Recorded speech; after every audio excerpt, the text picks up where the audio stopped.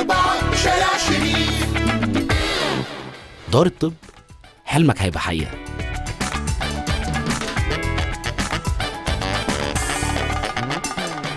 معادنا دلوقتي في عيادة أربعة شارع شريف مع أستاذ دكتور أحمد عوض الله مدير مركز دار الطب. أهلا بيك يا دكتور. أهلا شيخ دكتور هسألك على حاجة. في دلوقتي الناس ابتدت الكورونا يعني الناس اتطعمت الناس ابتدت تسافر.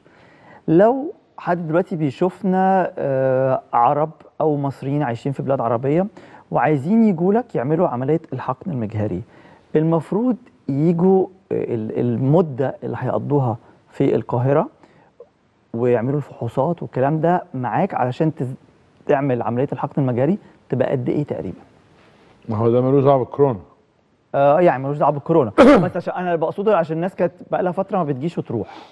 آه هو طبعا هو يعني حدث نوع من أنواع زي ما بيقولوا الفريز امم أو التجمد في التخصص دون في الانتقال بين بلد. وأخرى بالظبط. الحقيقة أنا يعني ال- الناس اللي بي بيتعاملوا معايا أنا والمركز بتاعي عارفين إن إحنا لم نتوقف لدقيقة منذ قيام هذا الموضوع وضعا في الاعتبار إنه قال لك إيه الست ممنوع تحمل. وبعدين الست ممنوع تخرج من البيت وبعدين الست ممنوع تسافر وبعدين قفلوا سفر وبعدين قال لك الناس اللي عندهم المنظمات العالمية المختصة بالموضوع ده والمختصة بتأخر الإنجاب قال لك تتقفل مراكز أطفال الأنابيب ده في دول معينة وي وي وي وي قصة طويلة. إحنا ما عندناش قانون طلع قال لك اقفل مراكز أطفال الأنابيب في ذلك الوقت وبالتالي إحنا كنا شغالين ولكن إحنا كنا بنضع بعض المعايير. أنا هتكلم على الكورونا وبعدين اتكلم على كنا بنضع بعض المعايير. أنت عندك آه، أنا بطني وجعاني بقى كورونا. وأنا عندي آه، زوري بيحرق. زوري وجعاني بقى كورونا. وعندي شرطتين بقى كورونا. وكحيت كحيتين وفي بلغم كده لونه غريب بقى كورونا.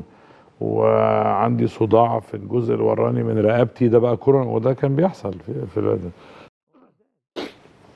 فاحنا بقينا بناخد كل دول ونهمشهم من العمل عندنا.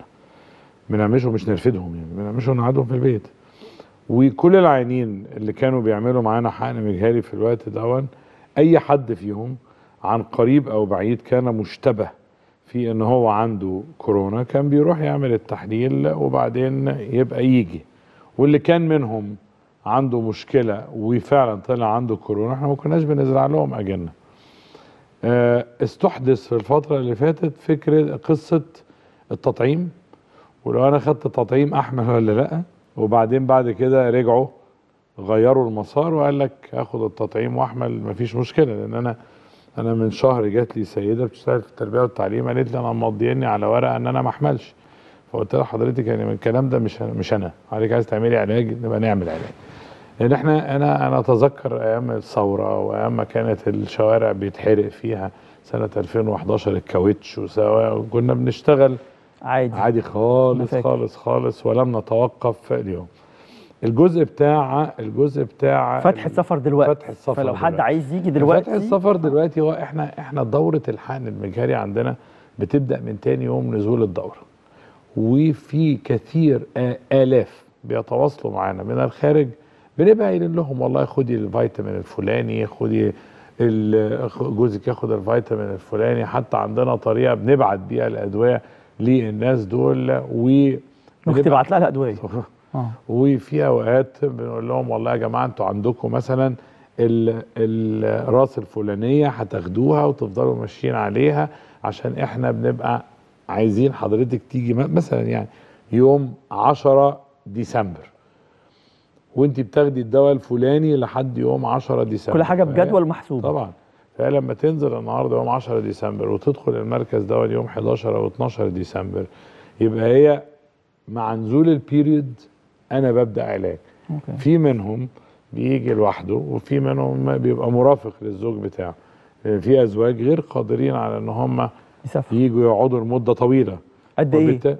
اللي هي تقريبا 18 يوم. 18 يوم. ففي منهم مجموعة إحنا بنبدأ العلاج للسيدة والزوج بي مسافر أو الزوج بيجي معاها وإن لم يستطع الاستمرار بيجمد عينة سائل منويها بتكمل.